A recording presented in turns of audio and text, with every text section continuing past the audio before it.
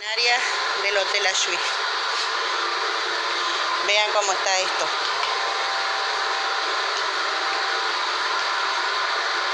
Todo inundado.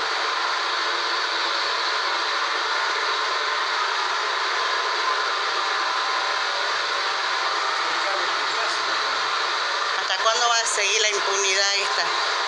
¿Qué están esperando que un trabajador se muera? La verdad que indignante ver el hotel así.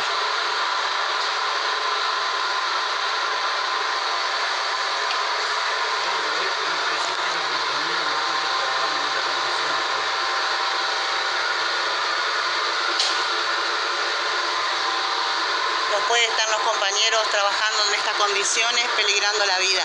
Después, ¿quién se hace cargo? Digo yo, ¿hay algún responsable para esto? Hotel Ayui.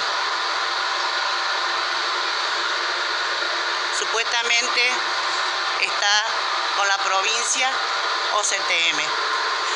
Alguien tiene que hacerse cargo.